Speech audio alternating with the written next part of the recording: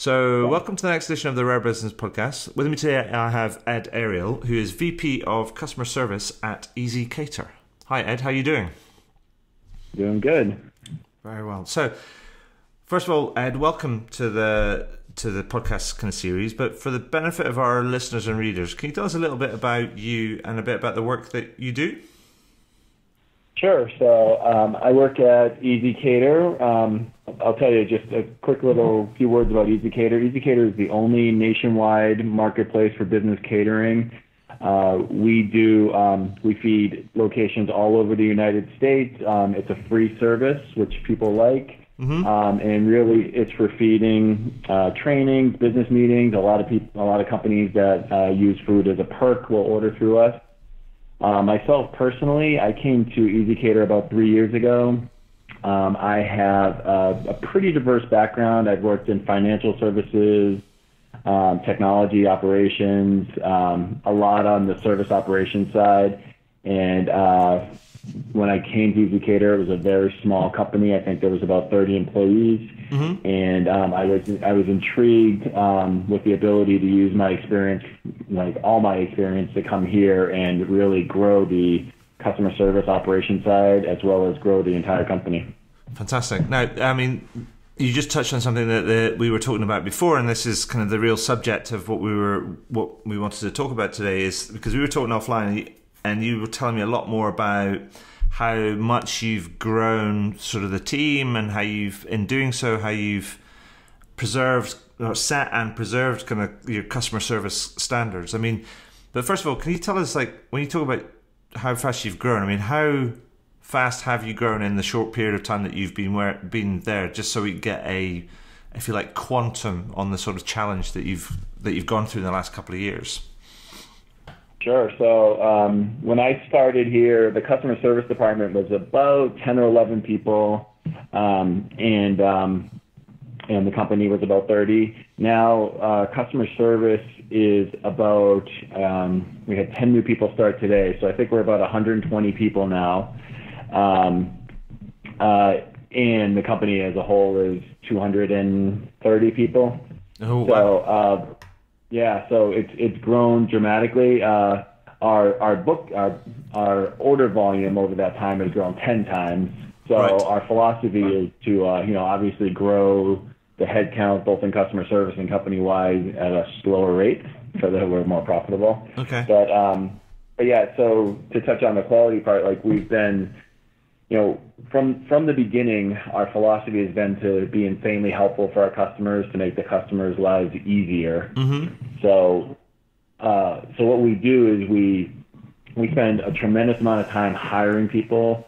Uh, we probably in, in the Boston area to to hire somebody. Uh, the estimated cost is uh, about eight thousand dollars. We know we spend more than that, but it's important to us to find like those A level, the right people that will um, understand our philosophy, incorporate that into how they work, and uh, convey that to the customers. Mm-hmm. So, I mean, but I mean, you've gone from what sort of ten to over hundred employees in the space of what two, just over two years. I mean, uh, three years. Three yeah, years. About three years. Um, yeah. I mean, how is it? Is it all about the people? Is it that? Is it by hiring, spending the right sort of time? To hire the right sort of people. Is that how you've maintained the service standards, or is it have you done? Is there some secret sauce that you're not telling me about? the uh, the main the main I mean we do have some stuff that we do uh, after the people are hired that's unique to ezCater, but the main difference uh, between us and most of the other companies I've worked with or interacted with since I've been here is the people. Right. We I know I know a lot of companies say we only hire the best of the best, or we only hire the top ten percent, or we hire A players. Mm-hmm. ezCater lives by that motto, and not just for customer service, for for every department. Right. Uh, so when we're interviewing people, we spend a lot of time. You know, we want to make sure that they they have a customer focus, but also that they've done something else in their lives, and it doesn't even have to be work related, that they've been passionate about, that mm-hmm. they've been really, you know, it's, it's what makes them happy. And then we see, you know, maybe they're, I don't know, it could be anything. Maybe they're, they love surfing. So Right. we'll, or, or travel. Travel's a big one. Everyone likes to travel, and people are like, my passion is travel, and we're like, well, what excites you about that? And then we see if we can um, get that kind of passion out of them at work Right. and and we do a lot of uh, a screening. So for an entry level customer service person here at ezCater, you'll go through um, a pretty rigorous uh, screening process, phone interviews. We we screen out a lot of people in the phone process. And when you know people are confused sometimes uh, Right. that they're not not moving along because they have you know five years of telecom experience Right. but uh, but but most of the yeah. So so it's um, you know once we find the people with the passion, then then then the other main thing we look for is the culture, right? That they're going to be a culture fit. Uh, You know, the minute, the number one thing we hire for, and again, a lot of companies say this is culture, but everybody here, so all of the 200 plus people that are here are very friendly with each other. There's nobody that you couldn't walk up to and ask a question. There's nobody that I like to say you couldn't go to a Red Sox game with and spend three hours with and feel very comfortable and have a good time. Right. And, and then when we were talking before, the I mean, you mentioned as part of all that, you mentioned there was a phrase that you used which was called psychological safety, and that's how you use that in your hiring. I mean, that that was intriguing. So I, I wonder if you could explain to me what that is and kind of how you use it. Sure. So, so once we once we've identified people as candidates and, and they start, we we start. We've kind of taken this this this idea of psychological safety and we've made it ezCater's. We've we've adopted it and, and changed it around a little, but we start from day one. Well, let me tell you, like the reason we started uh, even trying psychological safety was because it would take five or six months for a customer service person to to uh, to understand what we were trying to do, to understand the philosophy, to get the culture. Right. Um, and it was it was too long, right? Uh, so we we were trying to we were trying to shorten the window. So what we came up with was this idea of psychological safety, where starting on day one, we're telling them our philosophies. Uh, we're telling them, you know, everything has to be about making the customer's life easier. Um, you know, we throw them a lot of curveballs right off the bat. Uh, Right. So we say things like, we say things like, um, you know, if customers never talk to us, that might be the best thing because that means uh, the systems we put in place to make their life easier are all working perfectly. Um, we explain that the way to be a successful ninja, which is what we call our customer service people, Right. is, um, is to continuously be looking for operational improvement. So, you know, we we're very honest. We're like, hey, you can come in and be an A level ninja and and um, just do a great job, help the customers. But if you want to take advantage of the opportunities here at ezCater for advancement, uh, recognition, uh, what we want you to do is look at what you're doing all day, every day. Is there something that could be done better? And then we go into the fact, you know, some of the unusual stuff that we we don't we don't do any reviews. There's no annual reviews, semi-annual reviews. Right. Uh, what we do, we have a lot more open communication between the supervisors, the managers, and the staff. And then the question that always comes up, uh, if we've hired the right people, is, well, if I don't get a review, when do I get my raise? yes. um, and that's when we explain to them, and you should see their faces on day one or two, that you can get a raise whenever you want. Whenever you feel like you've outperformed your salary, uh, come to us and tell us why, and we will then either explain to you why you're a little off, right. or we'll say you're close. Uh, here's some things you can work on, and we'll discuss it in three months. Or in some cases, we give people raises, and we've given people two or three raises a year if they are truly outperforming their salary.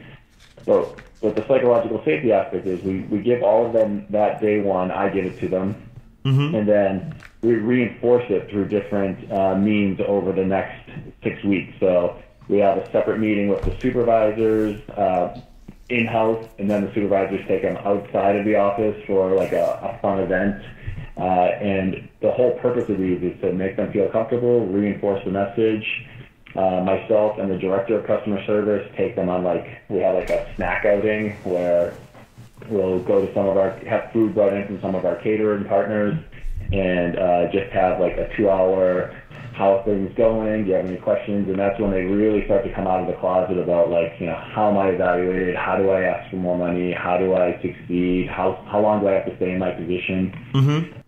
And, and then at the very end of the six weeks, you know, we keep reinforcing the message. Then I take them to a lunch usually, and that's when we uh, that's where we, we gauge the results. Like uh, we know that at the end of six weeks, say a year, a year and a half ago, people still weren't 100% bought in, but now we can see that they already have ideas. They Right. already are very open with their feedback about training. Hey, it would be, I think I would have got this better if he did this. Where, um, which is what you have to do to be successful. and and the, all that kind of fits into your kind of standards, right? Because it's actually you know. Um, a lot of times when people think about kind of customer service standards, they kind of talk about, ah, we need to kind of answer the phone within three rings and so on and so forth. But actually, that's sort of not really how you look at standards. You're looking at standards in a different way, and, and that's what that what you were just talking about. Then is all part of it, right? That's right. We don't use traditional KPIs for the call center. We don't look at uh, average handle time, uh, time on hold, you know, calls taken, uh, emails taken. What we really focus on, 90% of it is quality. So we have a quality team of four people that is constantly listening to listening to calls, reviewing emails, reviewing chats Yeah. and um, and the other part of it is the um, is you know the the interactions, the the feedback that you're giving us, how you're getting along with your team. Yeah. Um, and and we do have I mean we do have a very very high level. Once a week we put out we call it we count like interactions. So but we have an incredibly low standard on that. And that's really we don't use that to evaluate them. We use that we give that information to them. Uh, we share it with all 100 plus ninjas to kind of so they can see how they're doing against their fellow ninjas but when it comes to um, evaluating people for promotions, raises, things like that, what we're looking at really is the quality score and uh, their ability to uh, identify possibilities for improvements in the department Okay. or in the company. The company, a lot of the ninjas will look at things outside of the department and make recommendations Okay. um, and uh, and that's and we have such a good culture that the other departments don't look at it as like you're stepping on my toes. They look at it as well, you're the one talking to the customers, so let's see if this is something we can get to work. Okay, and uh, do, are you all the you know the the all your ninjas are they all in the one place?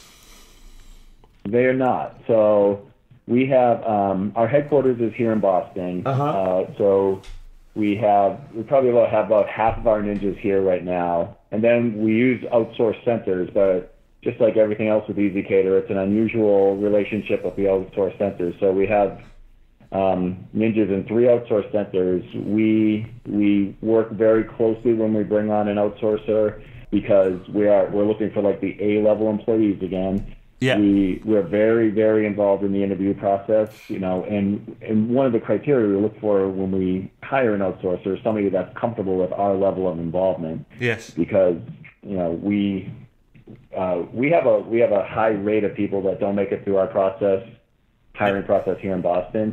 Whenever we bring on a new outsourcer, the rate is even higher there, and it frustrates some of them. But um, it's sort of like the psychological safety of a new partner. They have to understand what we're trying to do, and it takes them takes them a little while, but.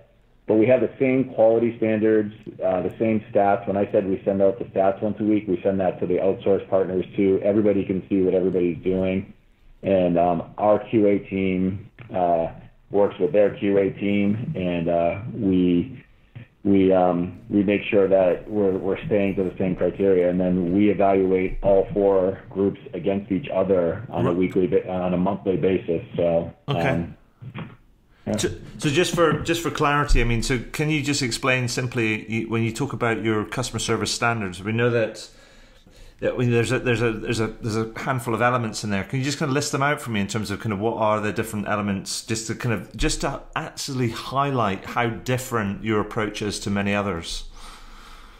Sure. So, you know, we have we have um, the standards that most people have. You know, uh, are you greeting the? Well, we have no scripts. So, Right. are you saying a greeting? Uh, you know, that has the company name and your name in it, offering assistance. Yeah. Uh, we also have the closing. You know, thank you. Is there anything else I can help you with? Recapping. But those are very small portions of it. Mm-hmm. The majority of it is, um, you know, documenting what happened on the account Yeah. and did you did you resolve the customer's issue? So, um, and it, and that's that's the meat of it because did you resolve it in a way that uh, made the customer's life easier, made the customer um, save them time, uh, yeah. and that's that's the vast majority of it. So, I'll give you a, a, very quick example. You know, if a customer calls in and says, um, you know, I have a vegetarian, I forgot to put a vegetarian on there. Instead of uh, putting the customer on hold, calling the caterer, uh, the caterer says, yeah, we have three vegetarian dishes going back to the customer. Which one of these three do you want?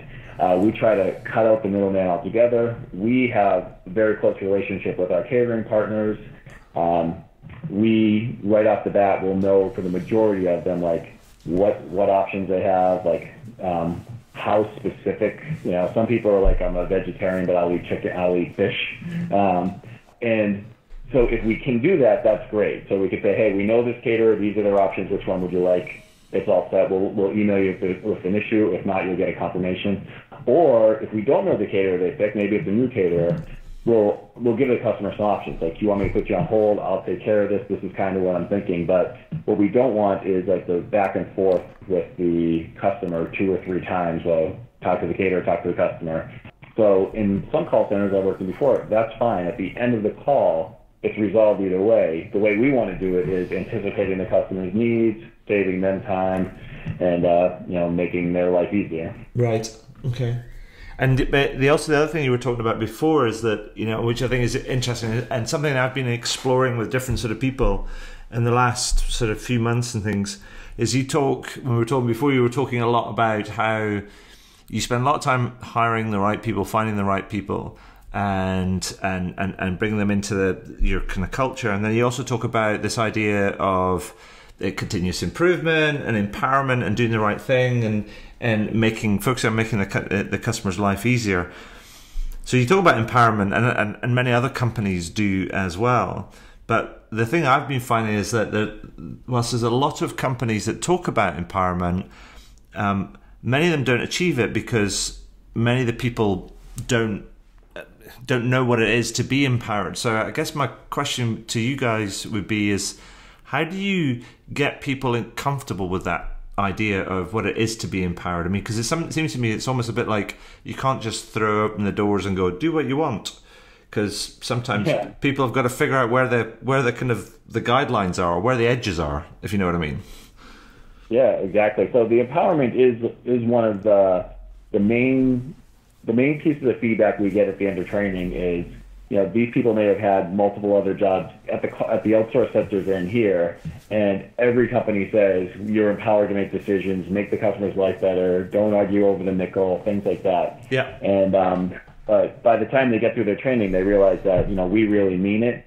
Yes. Um, and I can tell you, it, it goes through. Um, so they have they spend about three weeks in the classroom, and then for the rest of the three weeks of training, they're sitting in um, some breakout rooms we have here and they're either listening to someone take a call, listening to one of the people they're training with take a call, or they're taking calls and someone's listening to them, and we're reinforcing the idea over and over again. And we, so how much can they give away is, is a common question. So if there if there's an issue with an order, uh, again, in a typical call center, it might be call the caterer, see what happened, have the caterer offer something. What we try to do is is the customers called us and said there was an issue. It was a, it was an hour late. We figure out what will make that customer happy. Um, we give that to the customer. The customer is done. Yeah. Right? The customer is out of it, and then we work with the caterer and figure out, um, you know, what the caterer can give. And and what we want is we want good partners from the customer and the caterer. And most of the time, we're giving the caterers such substantial volume. They'll they'll work with us on these. Sometimes we do lose a little money, and uh, but but we're making the customer happy, right? So, but the empowerment is we have we have many stories of uh, of, of uh, brand new ninjas that made a decision on an account. So when they come out of training, they're given they can credit any amount. They can do a whole order. They can do a future order. We give them empowerment to do everything. They just need to justify it. We have stories of ninjas that made mistakes, you know, that would cost the company say six hundred dollars roughly. Right and that new ninja was very confident they were going to lose their job. Right. and we didn't. we explained uh, what had happened in the issue, how she she she she was going over the top, being insanely helpful.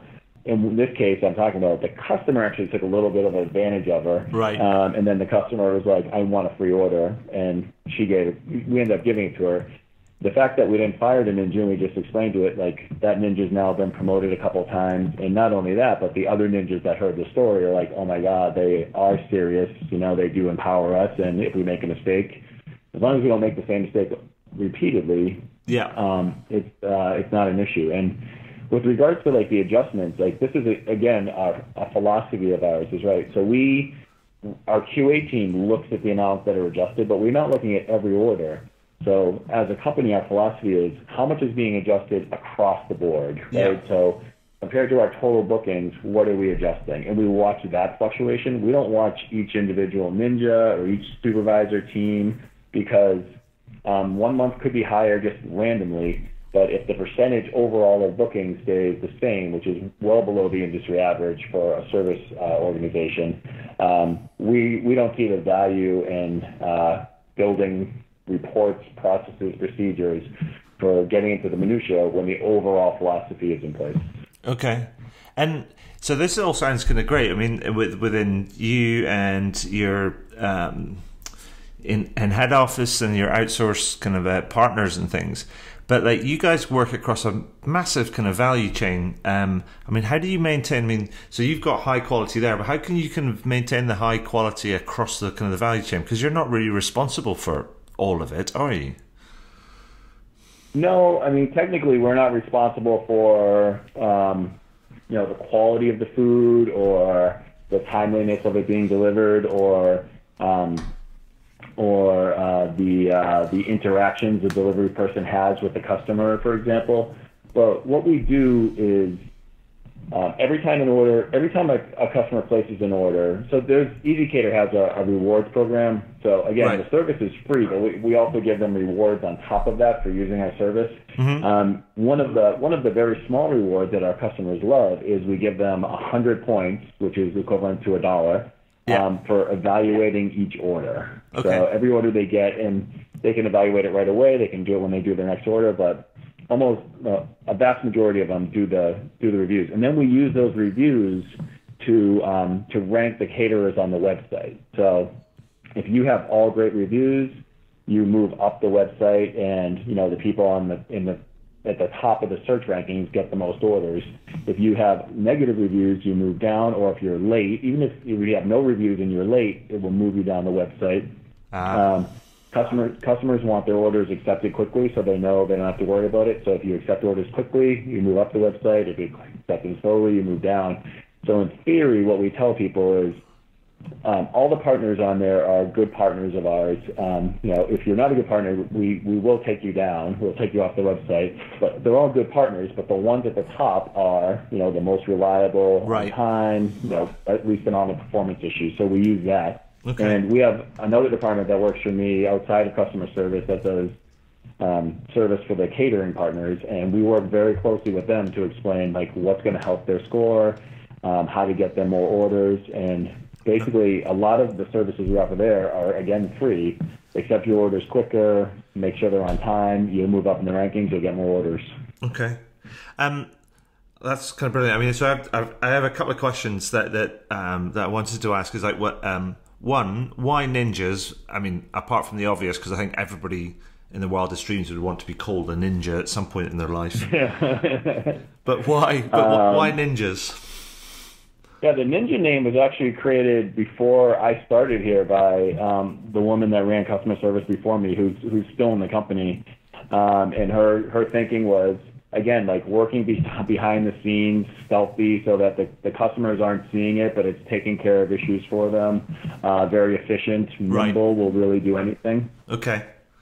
No, I just I like it. I mean, it's I'm I'm pretty sure that your people probably kind of wear that badge, kind of like or that name with with with some pride. Actually, it's like who would Yeah, who would who wouldn't want to be called a ninja? Yeah.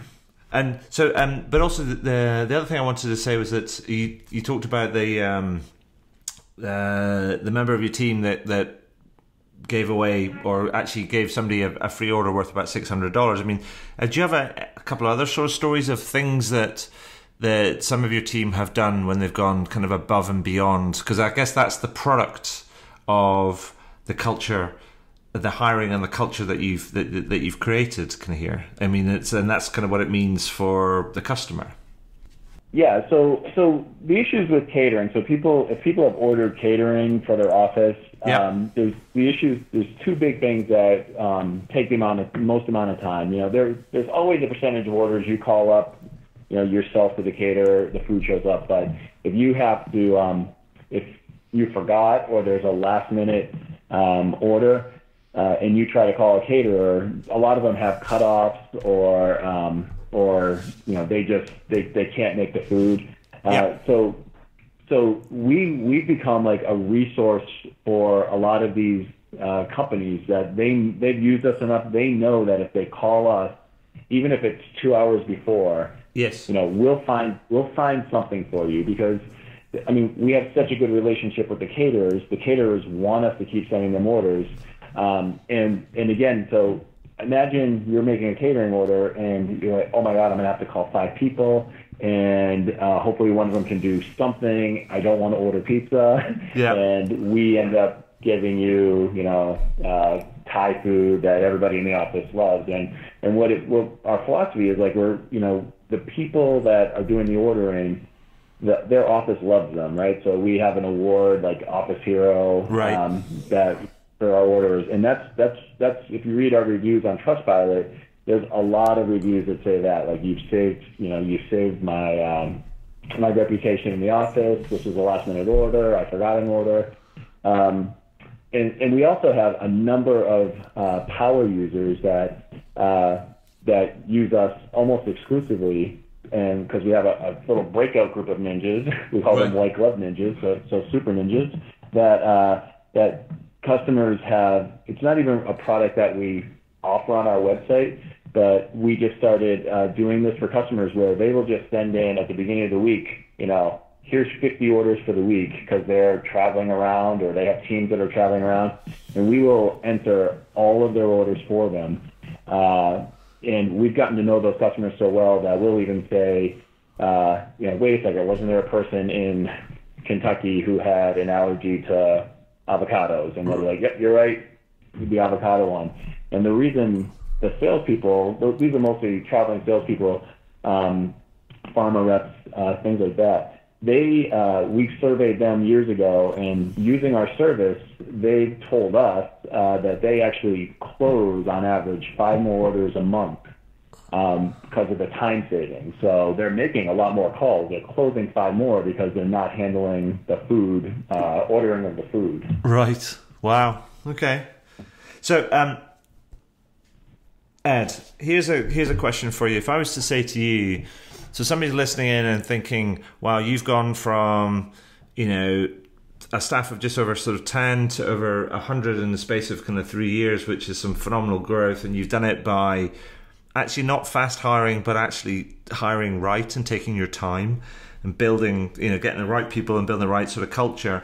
so you can deliver that sort of outstanding sort of service and your you know your Trustpilot scores and everything else and your growth sort of um, is testimony to that but if there's somebody's listening to this and thinking yeah i want to do that i want to replicate that myself i mean what advice would you give them uh, where should they start what should they do first based on kind of what you've learned over the last kind of few years Right. So, so I've had this conversation with a number of people in the industry as I've uh, traveled around and talked about ezCater.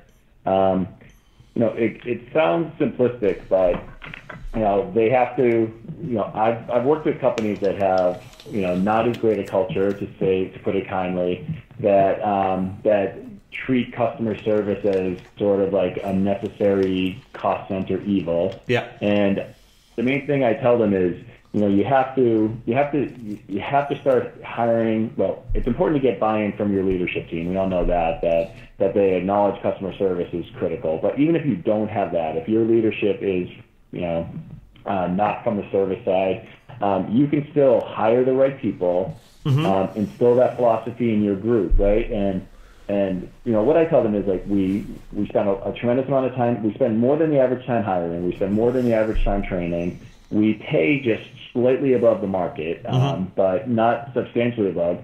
and and one of the key things is so if you do that, you also need to, and this sounds a little rough, but we do it here. Is you have to kind of you know when we when you say you only hire A players, you should only hire A players. And if somebody is hired as an A and becomes a B, um, you have to spend the time either getting them back up to an A or getting rid of them. Uh, right. And I can't tell you, I can't tell you the number of companies I've talked to that have been around longer than ezCater.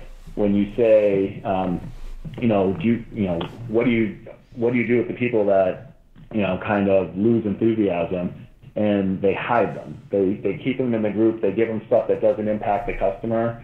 Um, and and uh, you know, my philosophy on that, or my my recommendation to them is always to. Uh, you know, either either you know, ideally you're going to get that person back up, mm-hmm. but if you can't, you're doing a disservice to all the other A players that you hired and to your company by keeping that person there. And I think that's really the difference here. So we, you know, we want to hire all A players. We want them all to be very successful.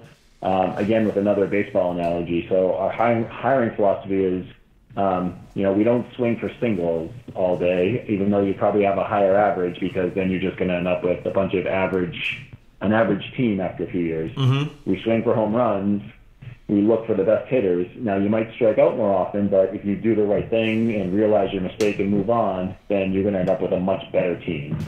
Fantastic.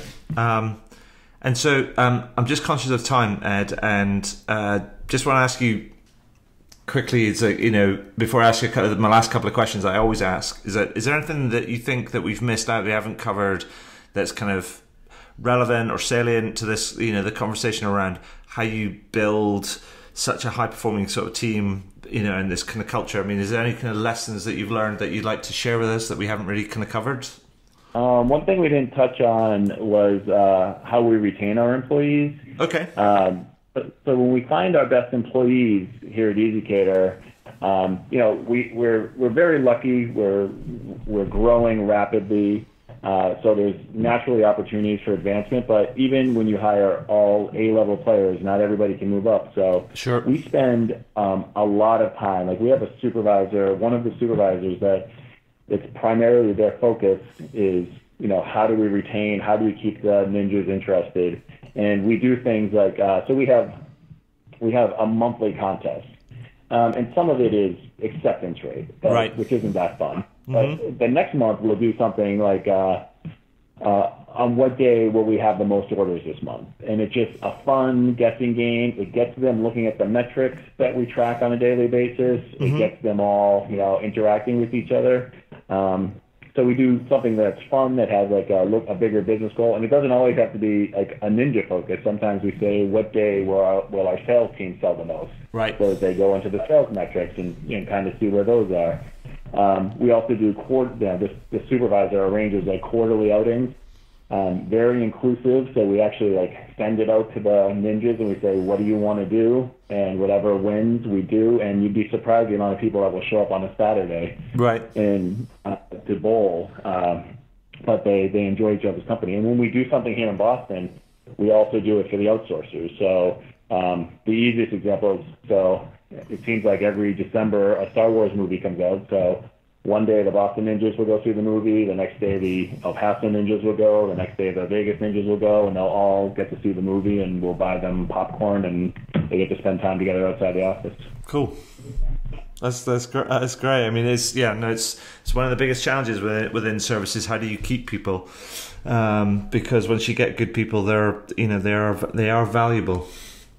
Um, so, Ed, um, so that brings me to my last couple of questions, and and I've the first one is a bit of a selfish one that uh, it's my, my own piece of market research, if you if you like, um, because it's based on uh, the idea that I wrote a book last year called How to Wow, and what I've been doing ever since then, uh, on, at the end of these these interviews, is asking people for their own perspective on what Wow service or Wow experience means to them. So I'd be really interested to get your take on that. Sure. So our our belief at ezCater is that the customers, not that they don't want to be wowed, what they want is they want to have, they want to spend as little time possible on this function. So what we found is they're most um, impressed and find our service most valuable when when the order goes um, straight through with very little customer interaction. So what, what we kind of say is, you know, we have great technology um, that's run by helpful people, mm-hmm. insanely helpful people. So if, if the technology is working, that's when the customer is the happiest. When there's some sort of uh, interaction, so the customer changes their order or a last minute order or something like that, that's when we want to be um, offered a wow service. But even then, uh, we believe in developing like a five second relationship with the customer, but we don't think the customer wants us to be spending, you know, turn a five minute call into a six minute call even just because um, we're trying to wow them. Again, sure. the ultimate goal is to be as efficient as possible, save them the time, you know, make them the office hero kind of thing. Okay, perfect. Thank you. And that brings me to my final question that I always ask at the end of these interviews. And the question is this, Ed is there anything that you would like to shamelessly plug? Um, sure. I'd like to. I'd like to shamelessly plug ezCater um, for anybody that's listening. You know, if you're ordering food for trainings, meetings, um, as a perk to the people in your office, you should try ezCater. Uh, people who try it love it. They're they're amazed by how easy it is, how much time it saves them, and it makes everybody's lives easier and better. And that's ezcater.com, is that right? Yep, easy, letter E, letter Z, cater.com. Yep. Fantastic. Ed, I just wanted to say, um, first of all, congratulations on the the success and building such a fabulous team, which is driving a lot of um, ezCater's kind of growth and and you know then all the Trustpilot scores and so on and so forth. Probably having quite a lot of fun along the way. But just finally, just wanted to say thank you for sharing your time and insight and, and, and your story with us today. That's been great. It's been great. I appreciate the opportunity to talk to you and your listeners.